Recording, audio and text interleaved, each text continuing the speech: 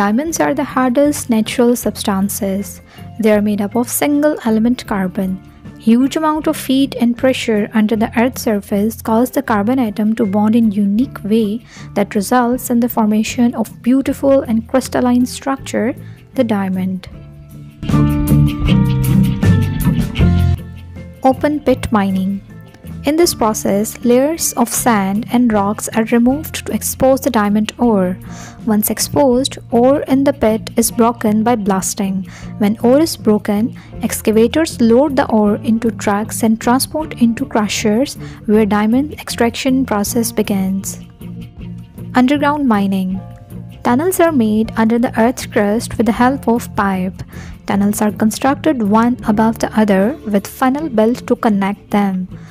Mining begins on the top level by blasting ore, which falls through the funnel and collected on the second tunnel.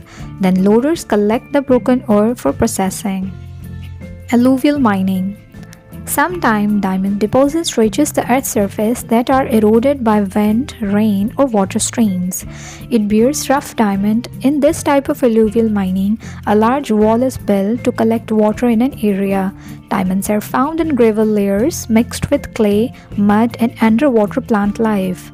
This gravel is collected and go for processing. Marine mining is an extraction of diamond from seabeds deep in water. In earlier marine mining, swimmers collect diamond bearing gravels from seabeds. Now, specialized ships are formed that are used in a way that the large scale drill mounted on the ship to excavate the diamond. Coast of Namibia is the richest marine diamond deposits. Processing of ore to get diamond. Crushing. Once the gravel having diamond ore is collected, is transported to primary crusher.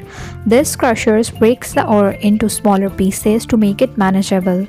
Sometimes roll crusher is also used for this purpose.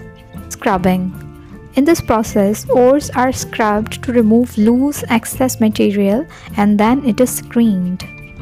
Cyclonic separation plant in this process, diamond ore is mixed with the solution of ferrosilicon powder and water and fed into a cyclone which tumbles the material for separation. The material with high density sink to the bottom which makes ore layer of diamond concentrate.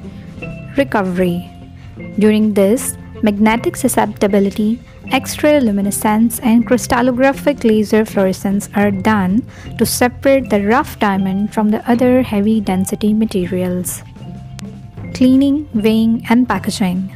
Diamond collected in the recovery process are cleaned in acid solution, washed, and then weighted, and then packed in sealed container for transport.